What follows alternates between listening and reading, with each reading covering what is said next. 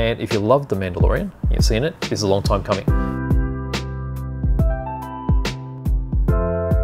Hello, this is BJ from Hearns Hobbies and welcome to another unboxing. Now this one is of The Mandalorian. Well, not actually The Mandalorian, it's actually his spaceship. So this is the Razor Crest from the Mandalorian series, which you would have seen on Disney. And it's been quite a popular ship and it has been released before by Bandai, but they're only been very, very little ones, you know, like little, little tiny ones that you put on top of your uh, desk. But this is the first time that a quite large kit has been released. This is 1 to 72 scale, and it's been released by Revell. So let's have a closer look. All right, so from the top there, you see the box art. You've got the Mandalorian, his head, very recognizable. And here you've got this huge action shot of the Razor Crest, the X-Wing in the background there. Okay, so this is by Revell, produced in Germany. It's what they call a level three. Okay, so with the levels, they don't really correspond to any particular brand. I should say they do correspond to a brand. Only Revell uses this system which goes up to this level. So it's hard to compare to different brands, but within the Revell range, level 3 is their mid-range. So it's not particularly difficult, but it does have a lot of parts. So let's have a look inside. Now there's a lot of chunky parts.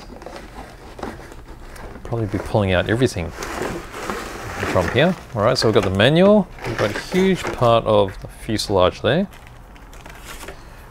Another set of sprues and some decals. What else is there? All right, and we've got some more. Got some clear parts. Okay, let's pop this over here. Let's start off one by one. I'll move all this across here and we'll have a look at the main section of the fuselage. It's a single piece mold.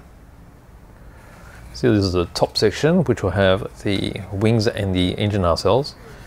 You just see the cockpit sections here. So you have glass that'll be placed in there. You've got open ramps. You can have them closed if you prefer. There's also the ramp at the back which is opened up. That's because there's interior detail you can put into here. I think a lot of people would like to see what the surface detail is like on this particular kit. So let's have a look. Get this to zoom in a bit.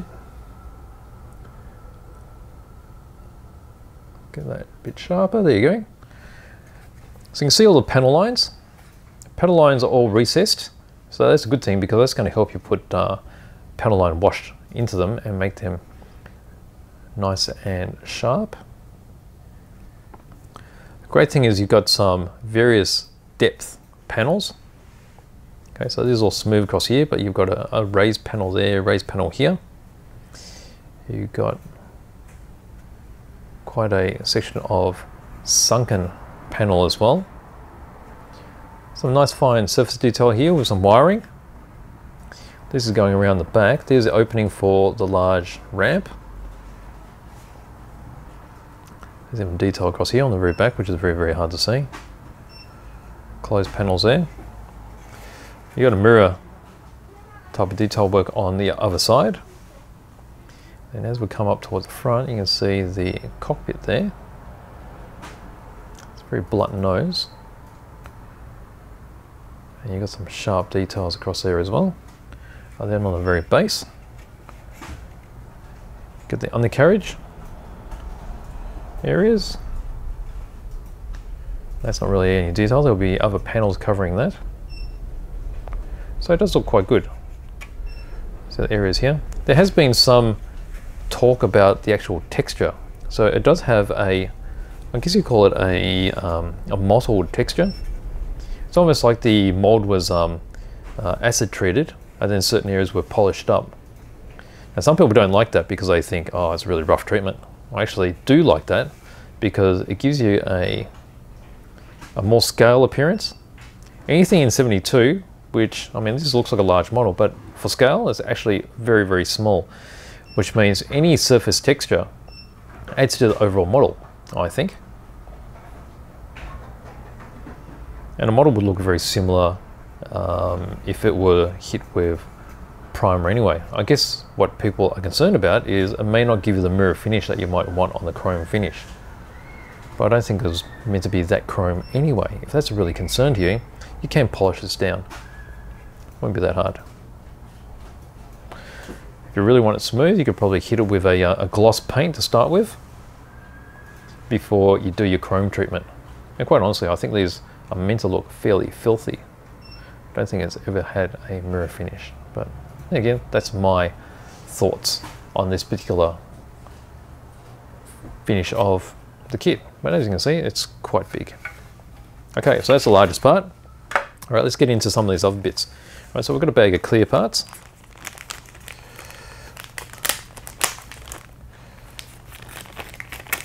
Quickly get that out of the bag. Okay, I want to zoom in a bit, a bit easier to see. That's super zoomed. Well, since we've got it there, let's have a closer look at all these bits. Okay, so that's going to be the windshield. Now it's a very large section because this is just going to be attached to the inside of the cockpit. So you don't have all those little, little parts you're trying to fit into the fuselage. Then again, I may be lying there because we do have the actual individual little bits here. Where are we? Over here? Those ones here, they're probably the, the panels for the windows. It's actually a lot more glassier than I imagined it would have. You can see they're fairly well polished, but they're not perfect. So if you wanted to do even better, see how there's a little bit of distortion? You continue polishing that even more and then um, putting a clear on it as well. And that'll bring it up to a full gloss finish. But like I said earlier, I don't think it really deserves to be totally gloss. Remembering when you're, you're watching the series, it is really dirty. Okay, so let's just do the wide. There we go, so that's all your clear parts. Quite a selection. Reasonably clear, as you can see, a, there's a little bit of distortion going through it, but not too bad.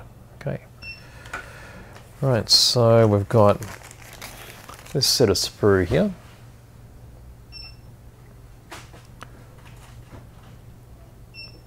There we go. So you can see the largest area here, that's a base. It's an optional base to give it the look of it in flight. Just take the tape off.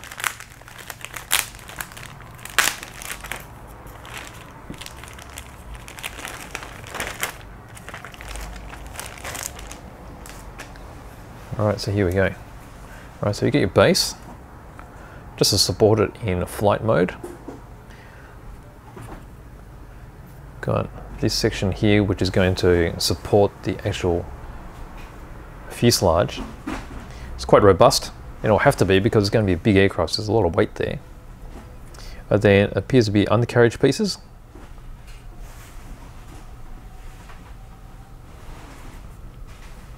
And the other side. So you can see on the base of those skids, there's also detail there as well.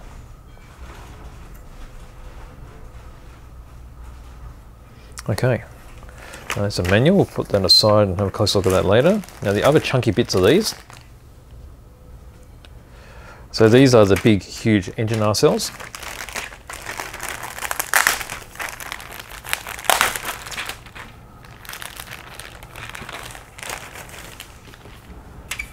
Okay, so there's actually two sprues in here. Let's look at this bigger one first. There's your engine nacelles, absolutely huge. You got some really nice ribbing type detail here. Now with these two piece molds where you've got you know, a top and a bottom of the mold pressing together and then you have two pieces and one is going to be connecting the other one, usually the detail across these sides suffers a bit because mold has to release like this which means may lose some definition.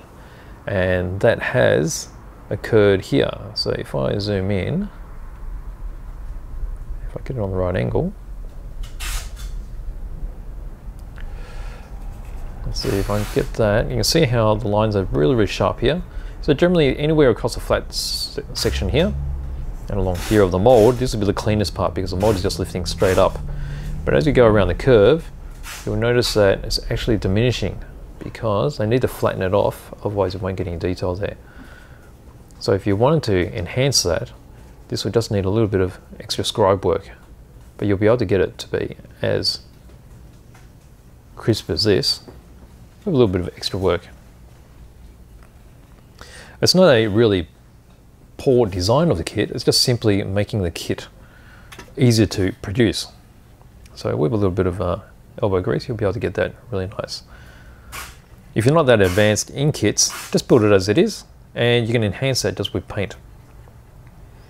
So from what I can see here, you've got two massive engine nacelles, got some interior components. You have the Mandalorian right here is in a seated position because he's going to be sitting in his cockpit. Where is he? There he is.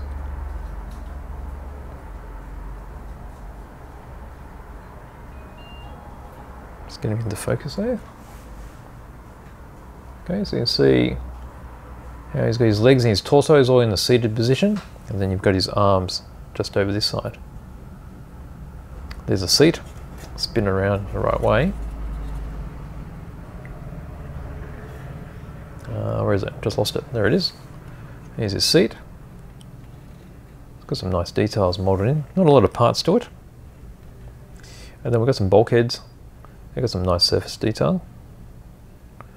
More interior parts with, oh, I guess it's a, a net looking detail and a bit of hose. Then we've got more of the cockpit components. There's this control panel. And then a couple of seats there. Therefore, the two passengers within the cockpit as well. And then a few other little bits and pieces. Okay. Next we move on to some the second set of sprue that was in there. So these parts here, I think they're I'm not too sure about these bits. We'll check the manual. You've got engine components, now if you're one that really enjoyed lighting these up, you could quite easily open up these individual parts here to make it look like a mesh and put an LED on the back and then you'll have these all coming out of the funnel. They'll look quite spectacular. This I think is part of the ramp. You've got the, um, the trademarks here, copyright 2021 for Revell and Lucasfilm. And there's the other sections of the ramp. So that's the rear ramp. You can see that's the part of the hinge there. Okay. And then we have our final bag. And this is quite a large bit too. This is the top of the fuselage.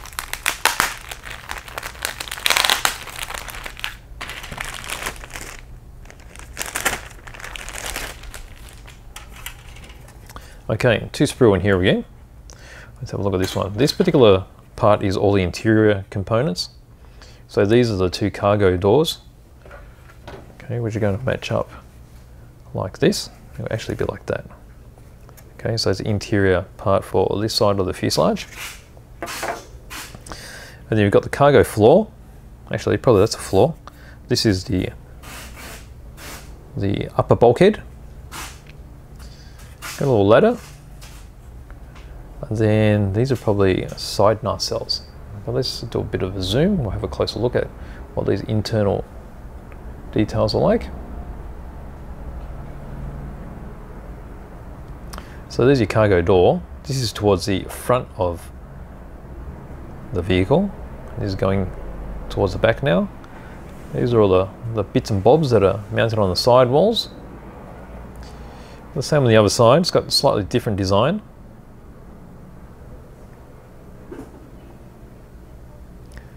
Now in the series there was a carbonite freezer in here as well, so I'm not too sure where that's going to be. You'd imagine that to be separate.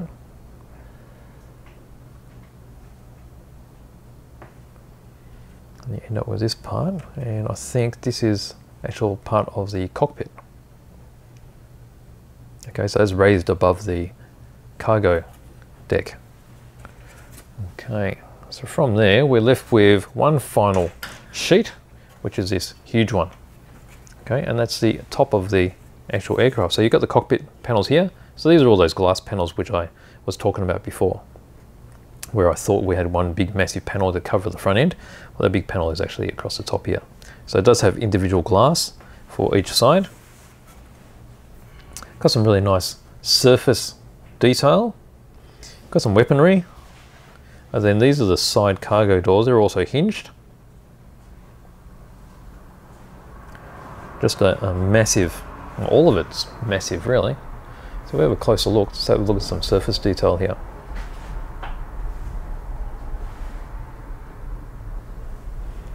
Okay, so that's the very center. Yeah, that's very well molded for not being separate components. So obviously they've been trying to keep this as simple as possible while still having enough detail. I mean, if you were talking about like a Takom kit, you probably, this top section will be made up of like 10 million bits. But that's not for everyone. Okay, so you've got the cockpit surrounds there. What I would be doing is, some of these parts do look a little bit agricultural. You see how you're looking through that hole there, it's not absolutely straight. So you, you probably want to either scrape that out until it is straight, or file it, and then perhaps also test fit some of the clear parts so that you know that it fits there properly. Also here as well. And I'll be doing that before I even put any paint on. Okay, so there's the cargo doors. Oh, where is it? There it is. That's the other side. So really nice surface detail on both sides. Then all the rest of it is all pretty simple. You're not going to be seeing any of this. So it's all pretty basic. Okay, so there's the top bit. Okay, so there are all the plastic parts. We are left with the decals. Okay, so decals. Just one simple sheet. You can see how you've got some really worn marks because it was a bashed around vehicle. This would be around the uh, part of the cockpit. And then you've got uh, details for the instrument panels as well. Okay, so here's a close-up of the decals themselves. So reasonably crisp. Pretty basic really. I mean, you've got some white decals here with just some outlines. So there you go. So they're the decals and that's all the components. So what we're going to do now is we're going to look at the manual. All right, so the manual, let's zoom that out so I can see all that. All right, so it's pretty big. All right, so nice color manual, which is unusual. You don't often get full colored manuals. Got some tips here about building models. You got your paint chart, multiple languages. These are all the Revell numbers, but you'll be able to find any particular equivalents in any brand you like. Here we have the legend of the parts. There's a sprues, A and B sprue, C, D, E, F, and then G, and then we start in the construction. Okay, so construction starts with the cockpit, and that's quite obvious. You do the interior parts first because they're going to be sandwiched inside the fuselage. You have various bulkheads, cockpit section here with the three seats. Mandalorian gets painted up. Okay, so we're mounting in the Mandalorian here now. The cockpit instrument panel. Uh, some more bulkheads, various bulkheads here, and then that's basically completing. That would be the, uh, where is that actually? Don't know. Oh, that's the front part of the uh, interior detail. So that's the cockpit area. We've got that large panel here, which was the, the cargo hold with the side detail panels. Top section here. So basically that's all getting sandwiched together. All that is only interior detail at this point. Now we start working on the large fuselage component. There's the rear ramp. You've got your side cargo doors. They're getting mounted. And this is where the internal detailed uh, subassembly is dropped into the fuselage. Some weapons here for the front, each side, and then the top of the fuselage is attached to the bottom part. Then we start working on the engines themselves. Okay, so there's the bottom of that nacelle, that big chunky bit which I couldn't work out before. Okay, so we've got engines getting mounted now on each side. Then we've got the cockpit glass. We've got the lower panel there's a couple of holes that you need to drill through here. And then finally filling in some of these panels. So that's um, this is in flight mode, hence why it's got the flying mark there. So this is with undercarriage up, and then you'll build the Razor Crest be sitting on the stand. As we go on, this is the landed mode. So that's the undercarriage extended. So using different parts. And you get to this point here where you can have all these cargo ramps open.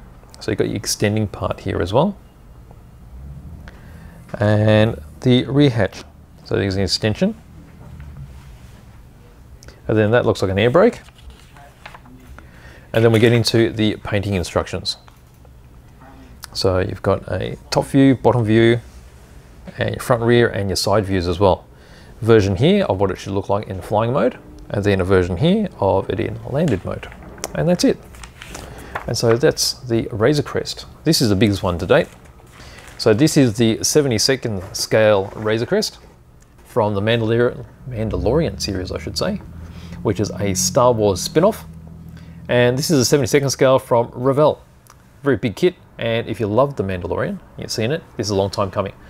Um, great kit. Very, um, I guess, basic, I would call it, but it's not basic in total finish. So it's got scope to do extra to make it look really, really nice, or you can build it as is and it won't be a really burden-filled uh, build.